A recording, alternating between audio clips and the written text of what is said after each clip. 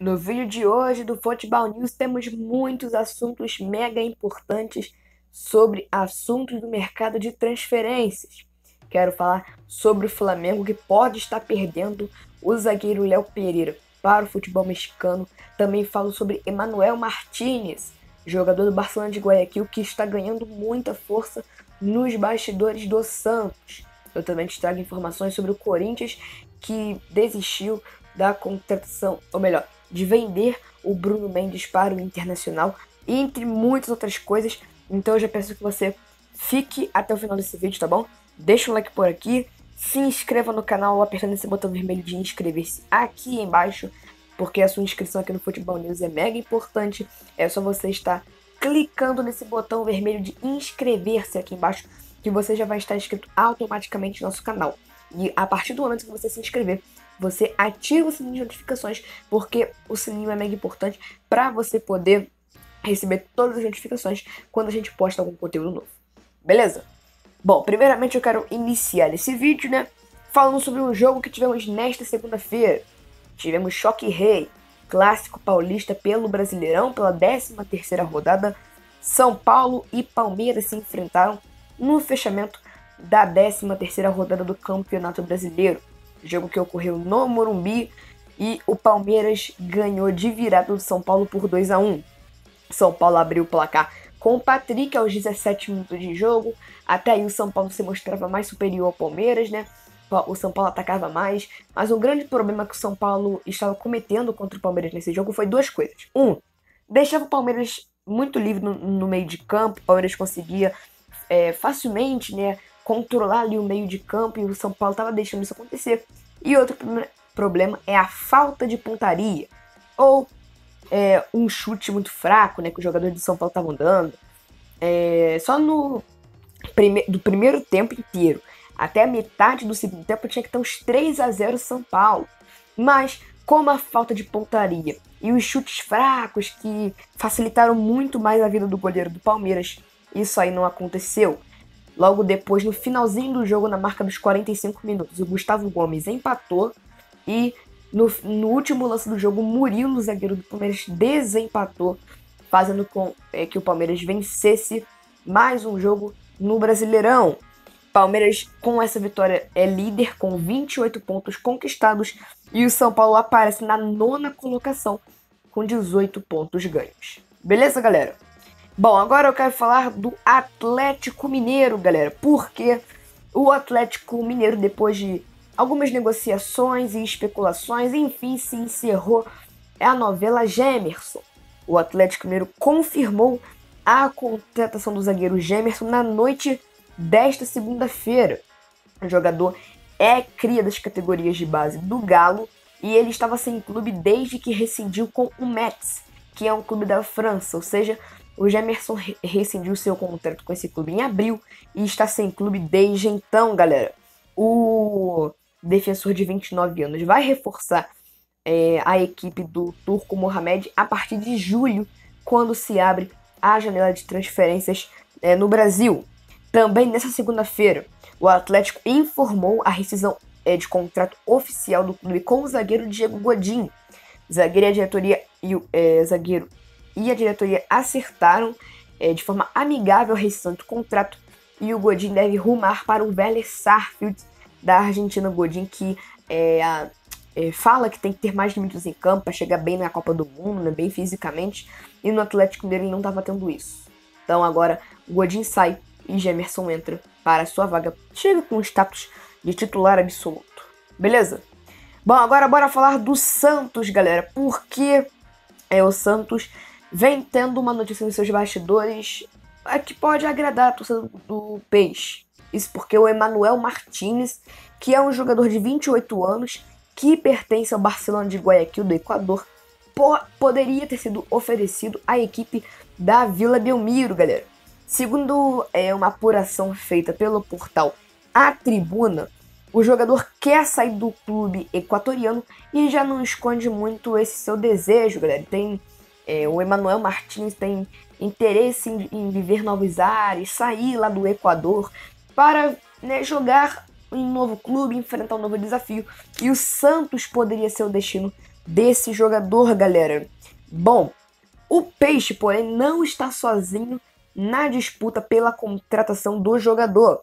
Ainda conforme as informações obtidas pela reportagem do A Tribuna, o Lanús, que é um clube da Argentina, também estaria interessado na contratação do Martins e tem também conversas em andamento para viabilizar o negócio. Ou seja, se o Santos não abrir o olho, pode perder o Emanuel Martins para o Lanús, Lanús que recentemente perdeu o, o José Emanuel Lopes, mais conhecido como Flaco Lopes, para o Palmeiras. O Palmeiras anunciou a contratação do jogador que estava no Lanús. Talvez a chegada do Emanuel Martins no Lanús possa significar que esse jogador vai ficar na vaga realmente do José Lopes, que chega né, com status de titular absoluto no Palmeiras para ser o camisa 9 da equipe.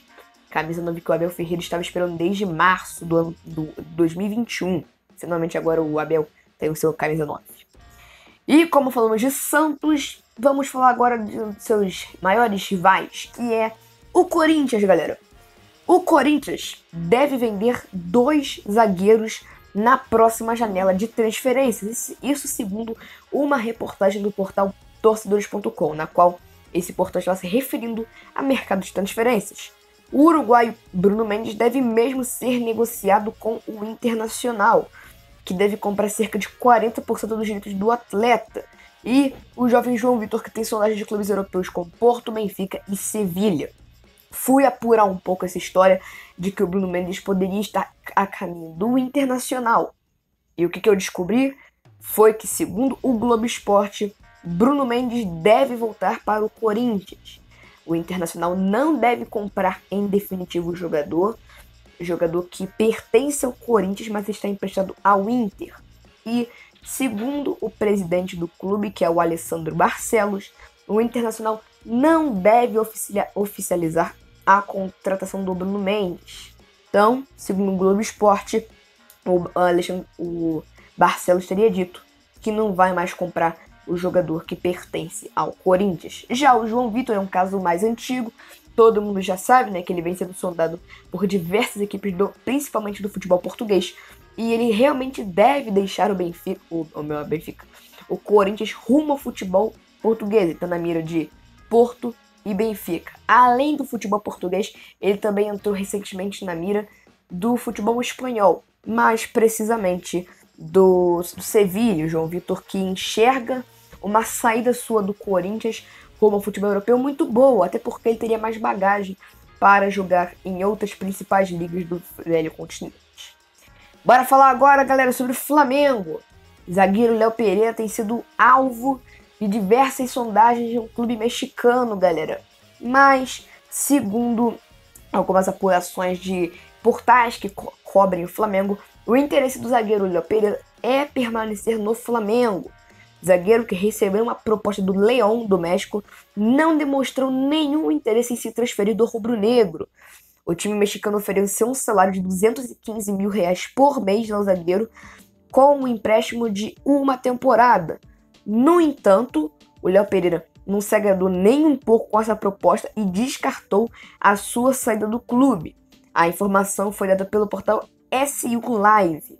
O Flamengo, por sua vez, ainda vai analisar essa proposta nos próximos dias, visto né, que tem, o Flamengo tem o objetivo atualmente não dificultar a saída de alguns jogadores, entre eles Léo Pereira, Diego Alves e William Arão. Então, o Léo Pereira pode estar de saída do Flamengo, galera. Outra coisa também, é que é bem rápido, é que Everton Cebolinha enfim foi anunciado né, de forma oficial como novo reforço do Flamengo e o atacante Bruno Henrique vai ficar de fora da temporada inteira.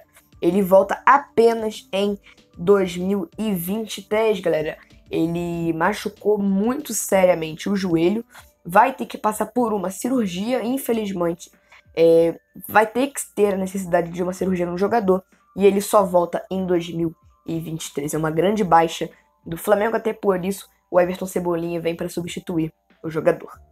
E bora fechar esse vídeo, galera, falando sobre o Fluminense. Mas primeiro, né, pra gente analisar todo o contexto, tem que falar um pouco da história do Evanilson. Evanilson é cria de Xerém, vem se destacando muito com a camisa do Porto, galera. Tanto que ele vai receber uma proposta nos próximos dias do Manchester United. O Manchester United ofereceu 60 milhões de euros ao Porto pelo jogador brasileiro, mas o Porto é, recusou. 60 milhões de euros equivalem a 325 milhões e meio de reais. Então, como o Porto recusou essa oferta, o Manchester United pretende aumentar a proposta para 70 milhões de euros, ou seja, 379 milhões e 700 mil reais. Tá, Daniel, mas o Evanilson vai ser vendido. E o que, que o Fluminense tem a ver com isso?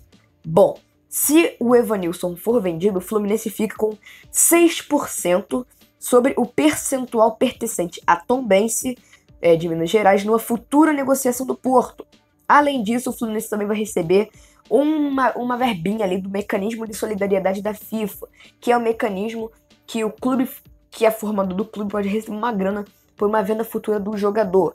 Então, se o Evanilson realmente for vendido, o Fluminense vai conseguir lucrar alguns reais ali, alguns milhões com a venda do jogador que deixou o clube lá em 2020. Beleza, galera? Bom, é por aqui que eu fico. Eu espero que vocês tenham gostado do vídeo de hoje. Curta, se inscreva, compartilhe e nos vemos no próximo vídeo.